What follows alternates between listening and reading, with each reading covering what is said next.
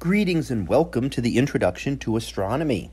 One of the things that I like to do in each of my introductory astronomy classes is to begin the class with the astronomy picture of the day from the NASA website that is apod.nasa.gov/apod.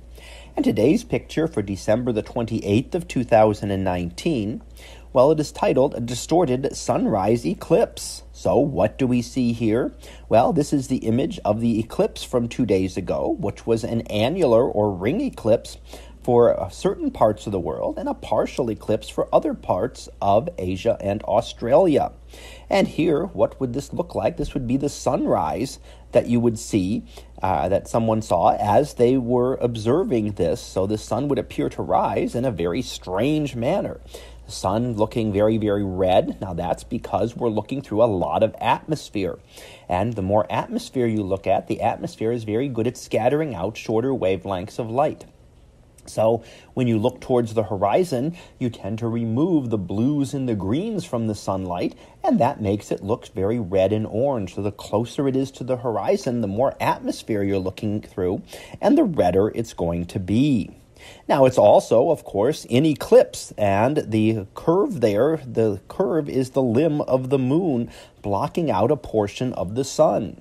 The sun and the moon happen to be about the same apparent size in the sky, even though they are vastly different sizes out in space. The moon appears large because it is close, and the sun appears large even though it's far away because it is such a large size but they all balance out, and it just happens that they're almost exactly the same size as seen from Earth, so that the sun, moon can block out the sun. And the moon here blocking out the sun, so you'd see what looks to be a crescent sun rising up over the horizon here. Now, the distortion that we look at is actually something else. If you look down below the moon, first of all, you see the sun off to the uh, the crescent sun, crescent shape of the sun there, and above it we see the limb of the moon, not the illuminated portion of the moon, which is facing away from us, but the uh, dark uh, portion of the moon.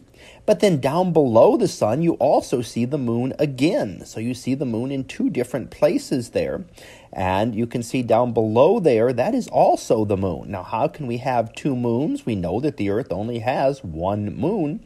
But this occurs because of, again, the atmospheric distortions.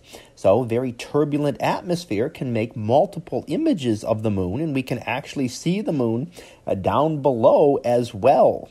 So, in this case, it's all atmospheric distortion where you're looking at this from space, the International Space Station, say, if it happened to fly through the eclipse track, would never see anything like this. The reddened sun and the fact that we get multiple images of the moon, both above and below the sun, are all due to atmospheric effects, all due to our Earth's atmosphere that cause distortions. And we see these along the horizon because when we're looking towards the horizon, we are looking through much more atmosphere than when we look straight up or at up at a reasonable angle up above it.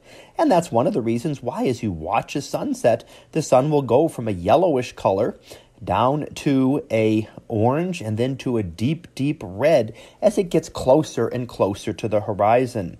And both of those again both of those atmospheric effects caused by looking through very long lines of sight through the earth's through the earth's atmosphere which we see at both sunrise as we see here and at sunset so that was our picture of the day for December the 28th of 2019. It was titled A Distorted Sunrise Eclipse. We'll be back again tomorrow for the next picture, previewed to be why Saturn's rings disappear. So we'll see what that is about tomorrow. And until then, have a great day everyone, and I will see you in class.